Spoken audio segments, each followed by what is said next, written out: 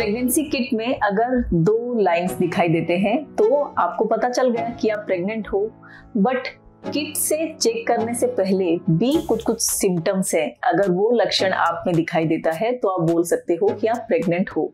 तो आज हम बात करेंगे अर्ली प्रेगनेंसी सिम्टम्स के बारे में।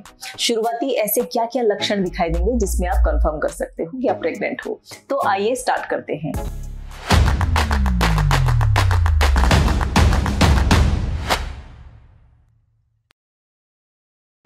तो जो सबसे मोस्ट इंपोर्टेंट पॉइंट है, वो है ब्रेस्ट टेंडरनेस आपका जो ब्रेस्ट है, वो सेंसिटिव हो जाएगा. आपका ब्रेस्ट में हेवीनेस दिखाई देगा. आप अगर निपल को टच करते हो तो आपको दर्द फील होगा. ऐसा क्यों होता है? ये प्रेगनेंसी हार्मोन प्रोजेस्ट्रॉन की वजह से होता है. उसके बाद आता है आपका जो वाजेनल डिस्चार्ज वाजेनल डिस्चार्ज का अमाउंट बढ़ जाएगा. क्यों बढ़ जाता है? बिकॉज़ हमारा जो प्रोजेस्ट्रॉन हार्मोन के प्रभाव से हमारा जो सर्वाइकल ग्लैंड्स होते हैं, उनके साइज़ बढ़ जाते हैं और उन, उनके जो साइज़ बढ़ने के वजह से सिक्रेशन भी बढ़ जाता है। तो वजनल सिक्रेशन जो है वो बढ़ जाएगा। नेक्स्ट पॉइंट ये है कि आपको जब हमारा भ्रूण जब बच्चेदानी में चिपकता है, यानी कि इम्प्लांट होता है तो आपको स्पॉटिंग दिखाई दे सकता है। तो स्पॉटिंग अगर दिखाई दे तो कोई कोई पेशेंट बोलते हैं कि पीरियड स्टार्ट हो गया। बट पीरियड का फ्लो और स्पॉटिंग में डिफरेंस है। वो जो है, आपको हल्की सी ब्लीडिंग दिखाई देगी। तो ऐसे अगर होता है, उसके बाद ब्लीडिंग और नहीं होता तो फिर आप सोचो कि स्पॉटिंग यानी कि इम्प्लांटेशन ब्लीडिंग है और आपका प्रेगनेंसी हो सकता है। जो नेक्स्ट हम बात करेंगे वो है आपका एसिडिटी गैस हमारे फ़ूड पाइप होता है और हमारा जो स्टोमक होता है, ये फ़ूड पाइप और स्टमक के बीच एक वाल्व है, जो कि प्रेगनेंसी के दौरान वो लूज हो जाता है रिलैक्स हो जाता है, जिसके कारण हमारा स्टमक में जो एसिड होता है वो रिकर्जिटेड होकर ऊपर चला जाता है। इसके कारण प्रेगनेंसी के टाइम आपको एसिडिटी हो सकता है। तो एसिडिटी अगर ज़्यादा हो रहा है तो भी ये अर्ली प्रेगनेंसी का लक्षण हो सकता है। कॉन्स्टिपेशन भी अर्ली प्रेगनेंसी का लक्षण है।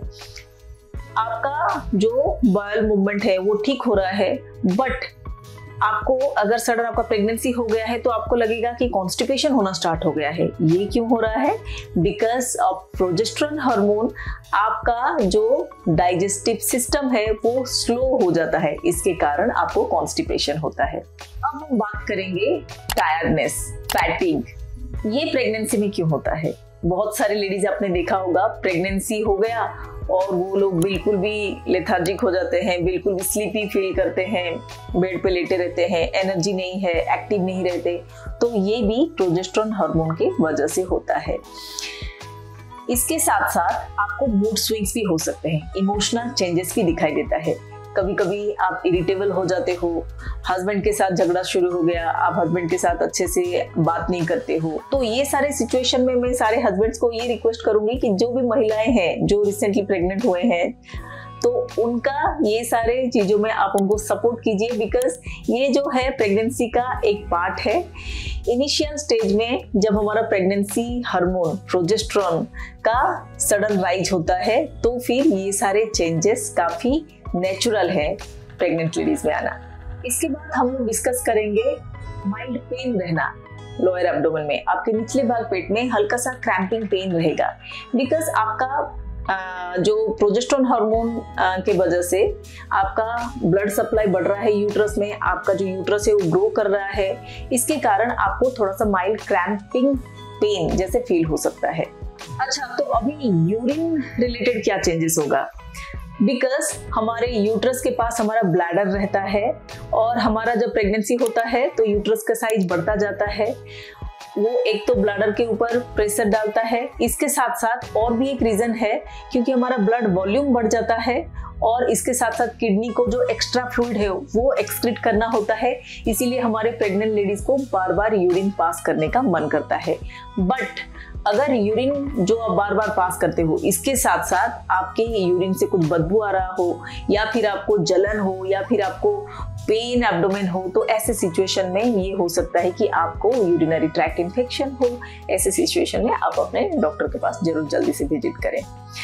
तो ये सारे अर्ली प्रेगनेंसी सिम्टम्स हैं और ये सारे सिम्टम्स आपको मोस्टली प्रेगनेंसी किट में पॉजिटिव आने से पहले भी पता चल जाता है। मैं आशा करती हूँ कि वीडियो आपके लिए इन्फॉर्मेटिव रहा हो। ये अपने फ्रेंड्स और फैमिली के साथ ये वीडियो को आप ज़रूर शेयर कीजिए। और अगर आप न्यू हो इस चैनल में, ऐसे इन्फॉर्मेटिव वीडियो के लिए इस चैनल को सब्सक्राइब कीजिए। Thank you